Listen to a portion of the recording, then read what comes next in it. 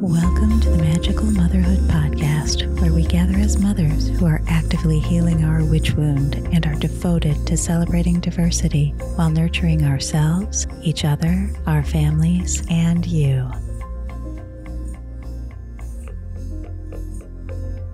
I'm Ariana Mogg, human resource extraordinaire by day, human design embodiment coach by night, pop culture obsessed nerd, and West Indian green witch 24 7. Hello, I'm Halicue Hannah, aka the Bougie Hoodoo, aka your Mississippi Mystic, and aka the Soccer Mom Sorceress. I use my head, my heart, and my hands to make magic that heals and inspires my family, my friends, and the collective. I'm Karen Lepage, sewing fairy godmother, connection weaver, possibility amplifier, spiritual modality dilettante, and professional pattern maker, focused on healing through making and expanding inclusivity in every direction, whether that's in my work, my community, or in my own heart. Erica Cullum here, a 21st century witch slash entrepreneur practicing my craft through intuitive coaching and consulting at my biz Collective Commons, while also homeschooling and advocating for justice on all fronts. If you're just joining us now, we'd love to invite you to hop back to the beginning of the podcast season. Listen to our first episode to get an idea of who we are. We thought about leaving this episode recorded last summer in the archive. Our audio is better now and we know each other more deeply, but we couldn't resist bringing forward a couple of episodes to invite you in from the early days. And this is one of them. In it, we talk about archetypes. When we're speaking of archetypes, we're talking about a universal symbol or image present in the collective unconscious.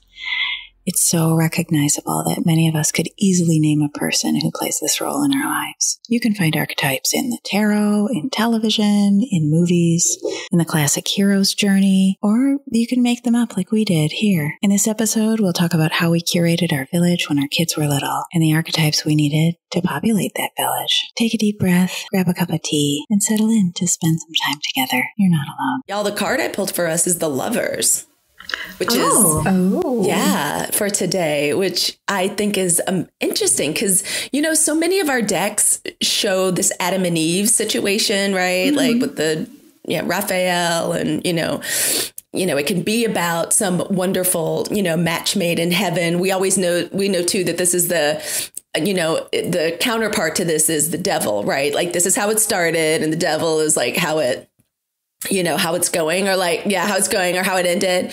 But um but you know the one of the much much much older versions of this card shows showed um a man choosing between two women and with cupid up in the you know with cupid up in the tree like about and it basically is like make the right choice and the choice that you know is in service to your best and highest self or the fates or the gods will come in and make the de- you know the fates and the gods will come in and make the decision for you so as we get our conversation started about you know our our village building our village um, you know that's going to join with us to like raise this you know this wonderful new generation of you know just beautiful beings let's you know like we can make some choices you know? Like we can make some intentioned um, choices choices that are in best service to ourselves and best in service to our own small families which of course affects the greater community so that's what i see um, with this as we get ready to start the conversation and and also yeah, like sometimes there is a little serendipity. There is a little magic, like that perfect person, like the perfect place, that irresistible draw to like a certain,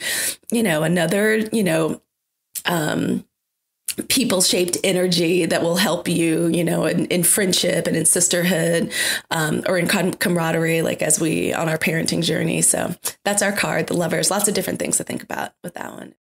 Okay, so you picked the lovers. So can you tell us about the the three of pentacles that you felt was a a card for today as well? If I were to choose a card to meditate on, if I were setting intentions again, and I still do with my daughters, even though they're a little bit older, and I feel pretty firmly set, like in my foundations, I would pick the Three of Pentacles because that is the card of collective work and like collaboration. Whenever I get ready to go to a board meeting or any any kind of meeting like that's collaborative, I will slap like the Three of Pentacles up there, especially in the beginning. Um, if I'm wanting to get off to a great start with a new group, and this is a, a beautiful in this Rachel Trueheart deck, this is the Three of Pentacles.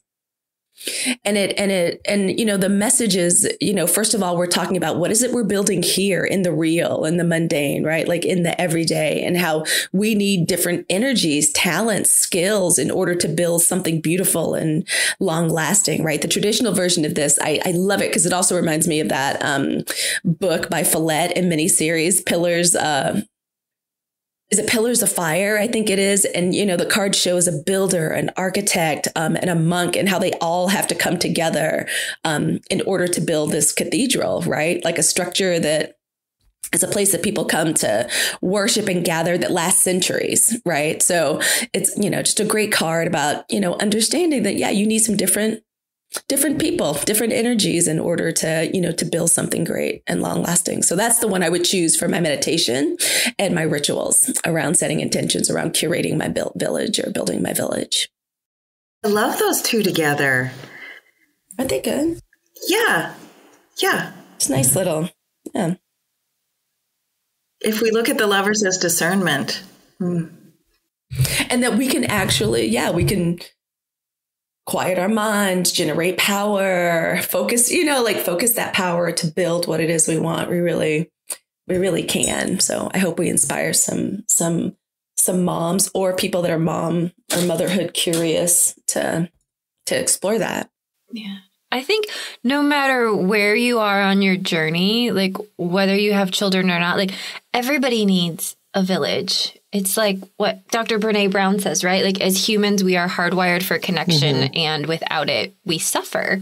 Um, and so wherever you are, you need to have that village. And Q, you saying something that even though your girls are older now, like the the village is never complete. That's how I feel, at least. In my opinion, the village is never complete. Like it is there's an open door there, right? Like sometimes people come, sometimes people go. We outgrow certain spaces and places and people, and that's just part of the thing.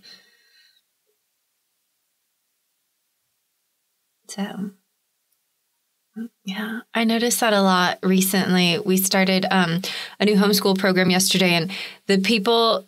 So when pandemic started, we had there was kind of this um, mom group, this like local mom group that started that we had started this Marco Polo, which is like sending video messages, um, you know, whenever we started it for our kids so they could talk because they were all in a program together, but then it soon got taken over by the moms.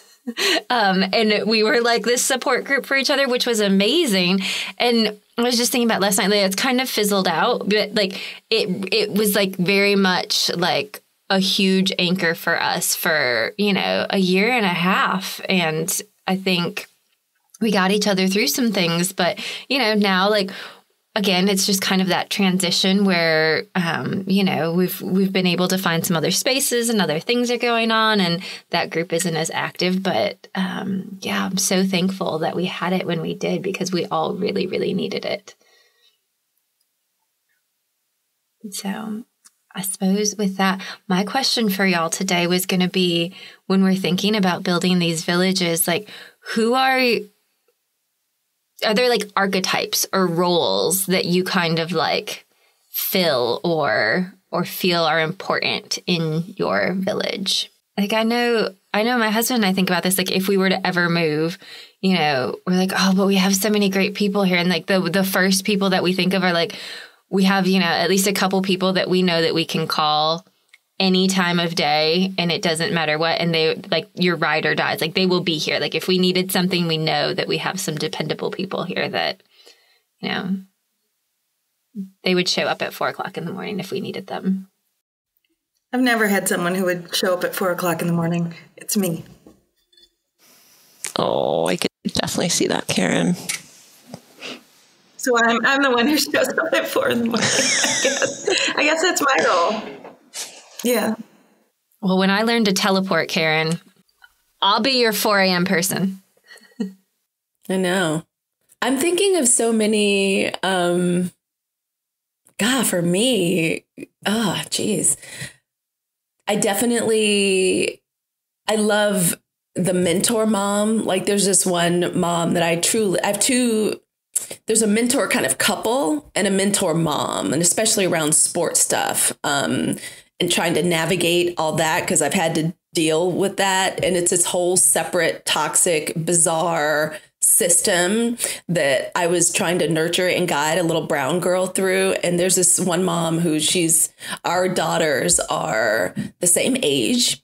Um, but her daughter is the third child and the last child. So she's been through college applications. She's been through like sports recruitment. She's been through independent versus, you know, like independent versus private. She's a woman of color. So she, you know, so we can talk about you know, racism, colonialism, and oppression, like in these systems, and have somebody to talk to. And she's, you know, she's got me by about six or seven years. So she's, you know, she's older. Like she's the kind of person I, I feel like when I'm just, you know, like so angry. She's a person that I can call and she's she'll listen first of all she'll receive and then she'll, you know, she definitely clicks in with that just kind of maturity, that wisdom, kind of big sister. And then like Halicue, okay, now we've cried about it. It up. Let's like let's let's let's get to you know, let's get to get to work, you know, like get to work out here. So in and so in a few ways she's a little motherly, you know, like to to me because you know, we feel vulnerable um, in our positions as mom. And I would say another person and just as kind of like an archetype, I, I don't know if I can I should probably look and try to match it up with an actual archetype for my deck. But I also love that mom that is a little obsessed with health and nutrition, like just a little bit, like she's a little obsessed. And I love it because I'm like, girl, I can never do that. But when it comes to certain trends, like she knows so much and is so full of information, like every now and then I'm like, nettles. Okay. Nettles. it's nettle season and nettles good for us. Okay, I'll do that. I can do that like once a week. Okay, you know, I do feel better. My skin looks great. Like so. I love that, you know, like it's awesome to have one person, you know, like that one person that's because they're just kind of this walking encyclopedia. And I feel like this one girlfriend I have that's a mom, and I feel for her kids, honestly, because I, I, I she's got the time and the money to be that like so specific, you know, so specific with such high standards for everything that goes into the child's mouth. I can do it. I don't know that I'm capable of doing it, but I love that she's so full of information, just just like the little nuggets that like fall off. I'm like, oh, okay, I can pick that up and use. You know, like I can I can use that in my home. Those are two of my favorites. I literally have a whole list. Um, don't even get me started about the tour guide mom, the mom that knows all the hot new stuff. Like if there's some new thing, the ice cream museum, or this is what the kids are doing. This is what we're doing this week. Like I love her too. So anyway, I, I, there's so many. We also need when we're out in the world. Um, the one who brings the snacks, the one who um, like makes sure there's something for every kid, who pays attention to the allergies and the preferences and the um, you know the things that are important to the kids and the parents, and that you know for meetings or for play dates or for whatever keep everybody from melting down we need that one too. And I don't know if that's the same one as the mentor mom or if it's the health obsessed mom, but I just called it the one who brings the food because there's a whole realm of care around that. Like the foresight to make sure toddlers aren't melting down because, you know, the moms want to talk for one more minute, but this kid eats at 11 11 and it's 11 12 and you know then the whole the whole play date can break down because this kid's one minute away from their scheduled meal um, yeah so that's uh, that's somebody who keeps that together that organized so maybe it's the one who organizes not just brings the food like picks a restaurant if you're going out or a coffee shop or it like likes to do yes. that because there's mm-hmm. always someone who likes mm-hmm. to do that and why would we deprive them of that like I remember once once on a why would we do that when I'm like, well, girl, I don't want to do it. I know it's true. I'm being serious. There are people that would like they need to be the man, the team manager. Like they need to be they need to be the room parent.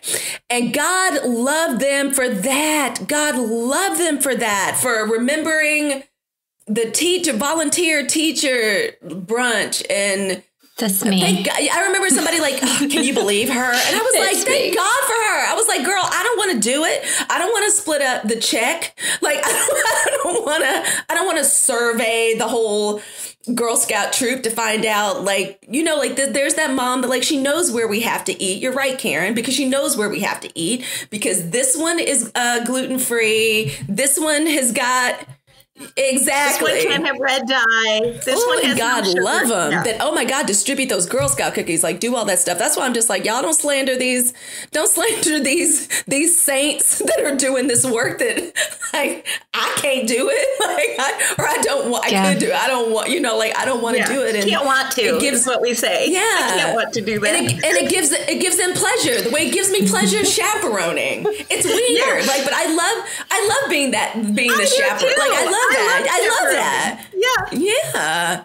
Um, I'll never forget like the girls. Um, I was real proud of this because I, I, give soccer moms a lot of slander, but the team voted me favorite mom at like their end of the year thing. They were like, and the little, and the quotes, the quotes were like, Oh, they, the, but the quotes were so great from the good girls. Were like, it always smells delicious and mysterious in Halicue's room, and I was like, Lord, these children have never smelled Palo Santo or like any kind of like, like yeah. incense. It smells good in here because I know how to burn just enough to keep the hotel like so anyway so just when you said that like the one that that does the you know divides everything up I'm like yes and thank goodness for them and let's uplift them and not slander them cuz I, I can't do it. Halicue, that's a really I mean yes, this is this is funny and enjoyable, but it's also the way that you're talking about this is a really important point for how we make friends as adults and how we're already formed as personalities as much as we're going to have personal growth. Like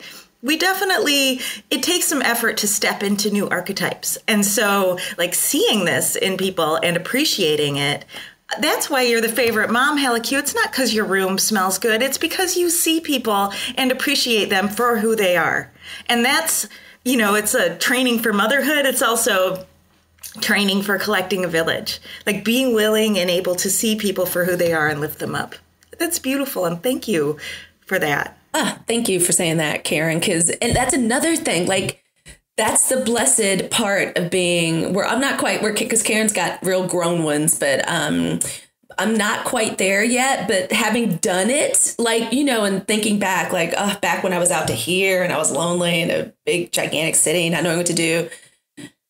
I, that's the value of experience, right? And being at a different life stage, like being in that, like, you know, towards the, you know, like we're in that still in that mother phase, but you know, the full bloom, the rose, but that first petal's getting ready to drop. Like that's the wonderful part about looking back. Um, because back then I would have said to myself, I need to be all that, or like I need to feel, I need to feel bad because I don't like doing the check. I don't want to be the team manager because I'm not great with ticking boxes and what's wrong with me? I'm a bad mom. I'm not a good mom. Whereas now I'm like, yeah, because we can't, we don't all, we don't have to fulfill all those roles. It's, and it's okay. And let's be, let's be grateful because the parent that, the mom that you're right, like the mom that maybe is a bit, um, you know, maybe she's, you know, she's a little obsessive about the food stuff, but, you know, she'll always, in a situation, she'll always have something for everybody because she's got to be concerned with the needs of her family. So special needs i'm on it. You know so she's like you know like like special needs or specific needs like i'm on it. And we can embrace that. Like we don't have to be crappy about it or slag off on ourselves because we're not yeah that archetype. Yeah. That is so real. I love your descriptions because I'm like placing my friends in those categories for sure.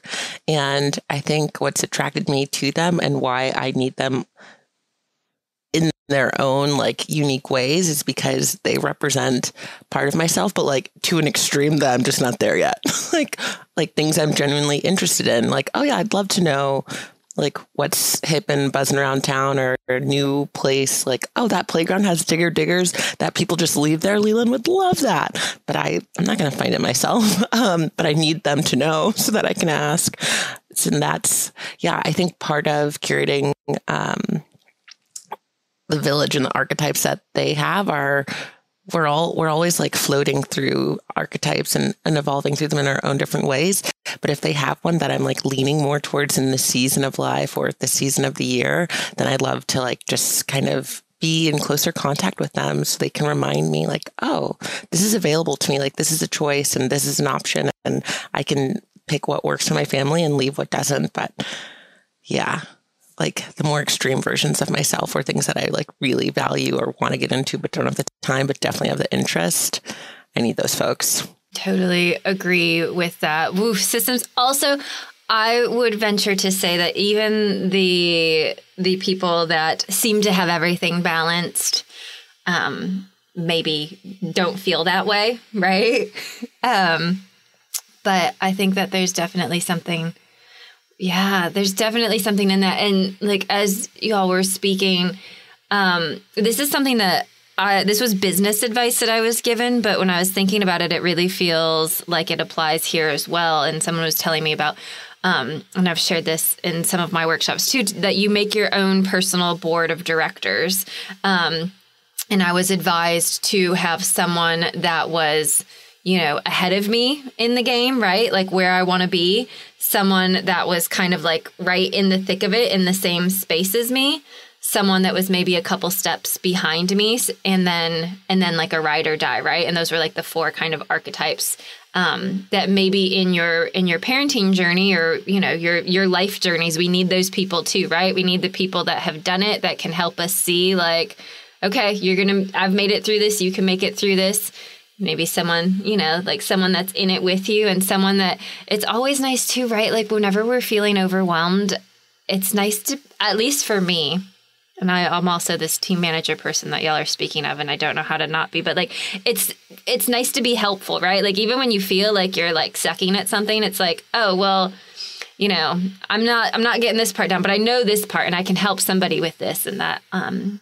helps me a lot when I am having a time. So last night was back to school night for sophomores, one third at a time at my youngest's high school. And so only one parent could go at a time again because of safety protocols. Um, so I got to go. And it was so wonderful to see like we have the team player, the team leader parent, like managing the PTA.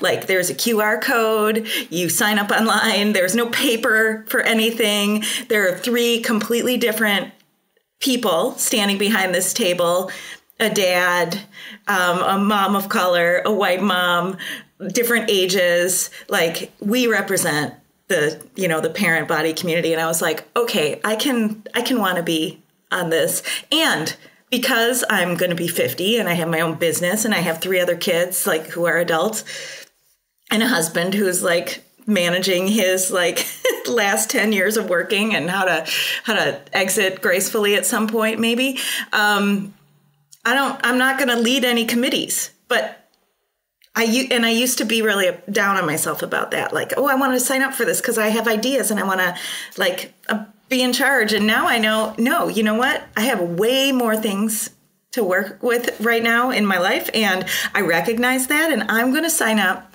and be the one who, if I have time, will show up, be a body, be told what to do. I'll chaperone if anybody goes anywhere again someday in the after times.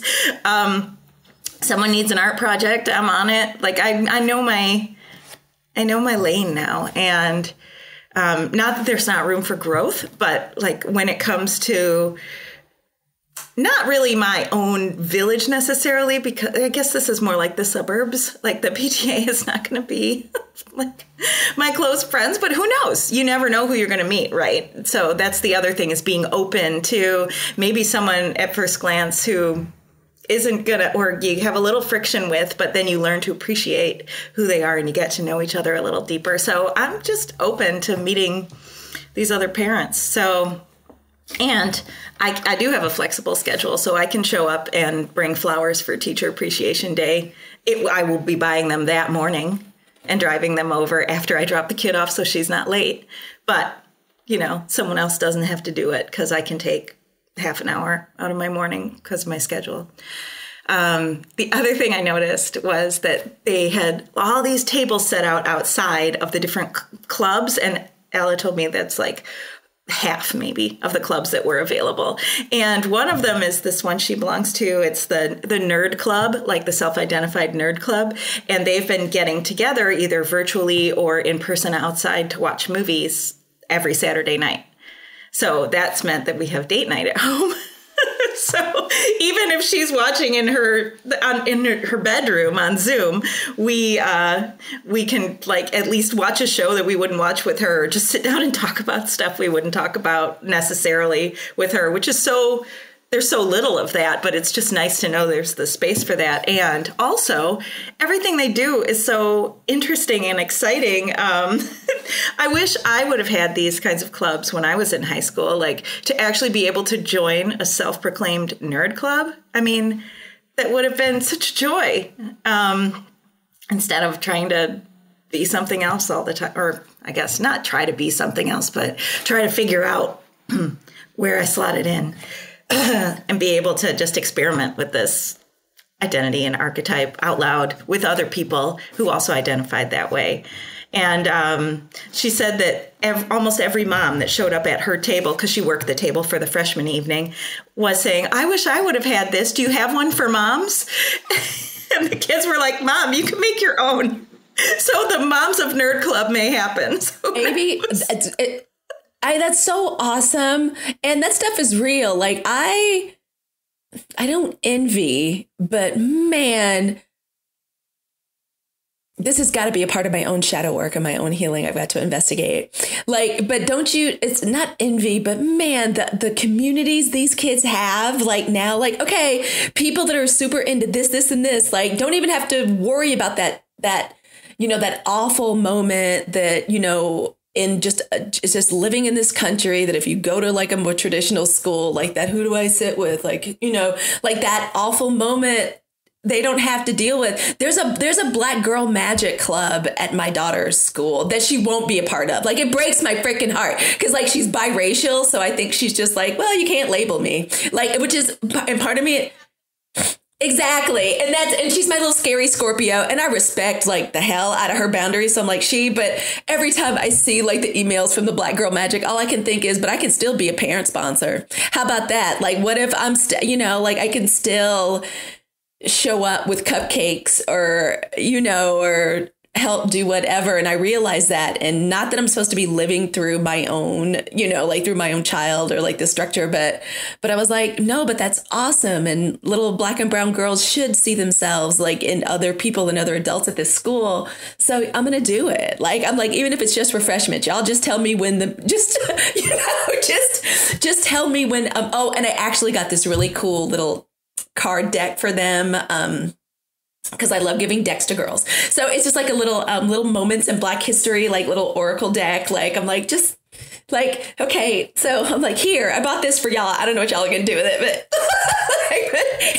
here, you, here you go. Like so, you're right, Karen. Like it's it's interesting seeing these um you know like these different like you know like these different communities that are available like for the kids now that we just we didn't have but but thank goodness we get to witness right? Oh no kidding. The social justice club the pride club the mural club the theater tech club dungeons and dragons like just out loud like instead of hiding in a basement somewhere.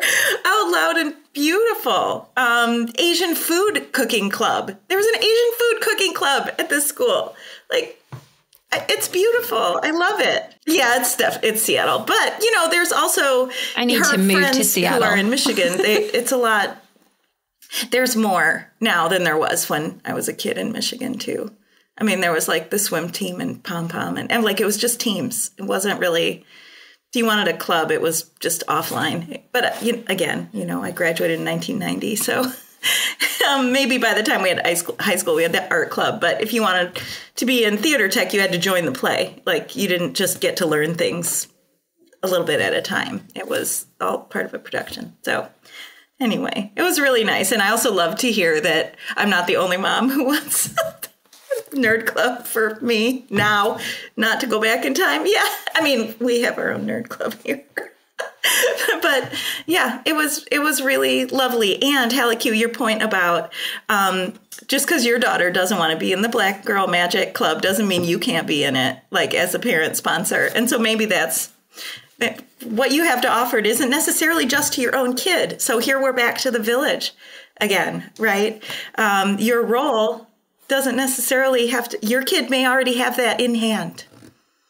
I think that's a, a role for the village, as yeah. y'all were both talking about that. Like the the um sometimes we have these people that don't necessarily have the time right to like pour into these projects or these things or whatever but they have resource and so they're like i can help i can help in this way and we we need those people too like yeah sometimes we just need resource to help us make the things happen yeah, the one who brings all the art supplies from the older kids but doesn't have time to teach the class. And mm-hmm. maybe there's the one who is there to teach the class. I mean, we had a homeschool co-op for my for this one who's now a sophomore in high school in first and second grade and that's that's how that went, you know.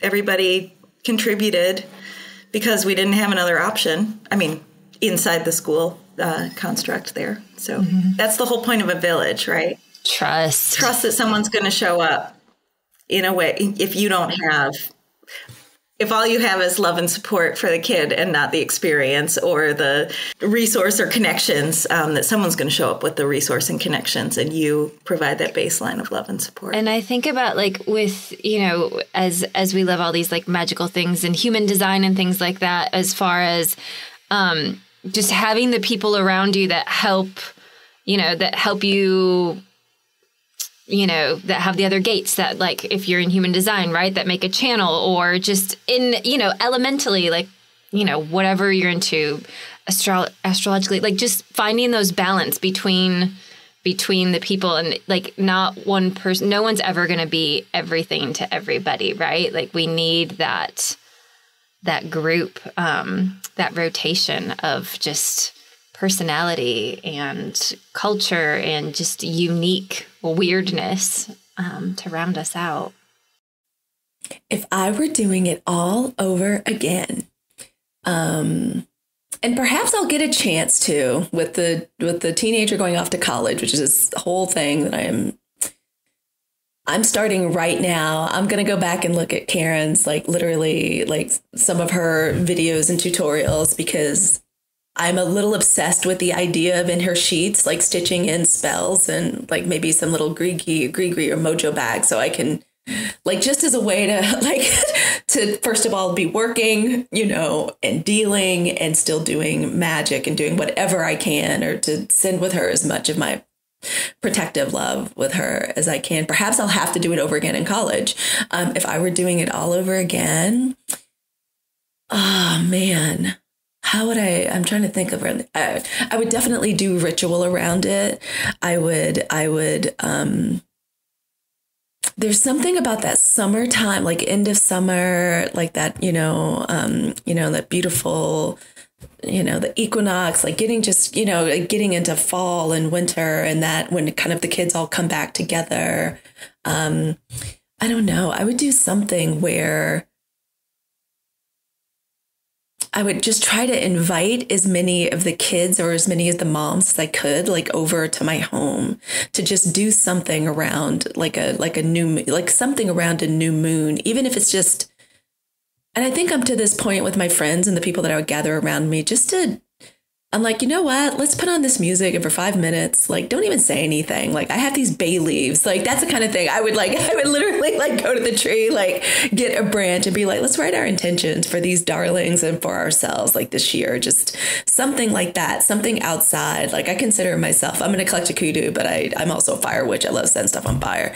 Like, something around, and in Northern California, it's just a natural thing for people to do to like gather around a fire. Um, I would do something like that. I would I would definitely bring some some candles into it, some petitions, some journaling into it, and do some kind of ritual around it, like you know, strengthening the bonds that I already have and inviting in you know whatever new energy and also doing what I could to you know in the in the um in the waning phases with every with every bath with every shower i'd be like you know who what relationships do I need to release? Like, what are the ones that are not serving me, right? And just from the, y'all know how we do it, like from the top of our, from the top of our heads, like just all the way down. Like, what do I, you know, and you know, what do I need to release in order to continue to grow this strong, loving village? Like, that's pretty amorphous, but that's probably where I'd start.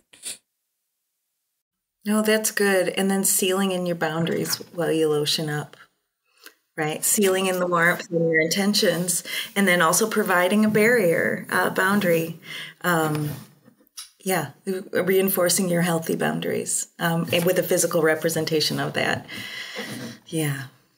And we all, you know, moisturize our way to happiness, but, you know, that's. That's a way to get there. And another, I have to be honest, like another thing I would add in, um, literally, there are sometimes I can literally still hear my grandmother, like, she's like, and what y'all need to be doing is praying for the spirit of discernment. Like, that's what, so like, and, and bring something about discernment, like, into the, into the conversation. Cause we could avoid so many, like, again, in hoodoo, we call them conditions. Like, we could just avoid a lot of conditions that are painful and uncomfortable if we if we do, if we try to bring in that spirit of discernment, think, you know, commune with an ancestor, like who was the one that like had those firm boundaries and was not taking, you know, like could still be a relatable, loving person, but was like, but what you're not going to do is this, like, you know, like, you know, that could establish those boundaries. Um, so yeah, I try to bring in, which to me feels like an air element. Like that's a real, like that feels like super cerebral and like mental, like however we can bring in the, um, that spirit of discernment. Grandma used to say, like we could, I try to bring that in as well. Yeah, the lover's card again, right? Well, I would like to offer Q, those are beautiful. And I think in my mind, a lot of times I'm like, I'm going to do these amazing rituals. But what happens more often than not is like, we're at the playground and I'm like, oh shit.